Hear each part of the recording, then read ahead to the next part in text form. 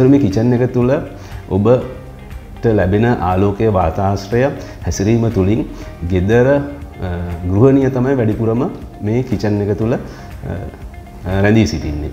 එතකට ගෘහණයට වෙන සුබ අසුභ සිද්ධි තමයි අනුව තමයි ඔබගේ නිව ගෙදර සතුට ධනය දරුවන්ගේ ඒ අධ්‍යාපන කටයුතු රඳා පවතින්නේ.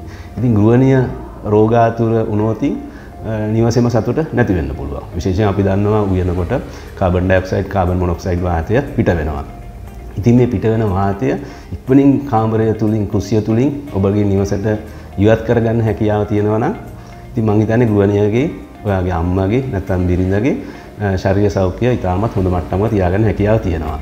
ඒ සඳහා වාස්තු විද්‍යාය සඳහන් වෙනවා උයන එක කිචන් එක අපිට කුක හුඩ් එක කුක හොබ් එක තියෙන්න ඕන නිවස ඉවත බලාගෙන.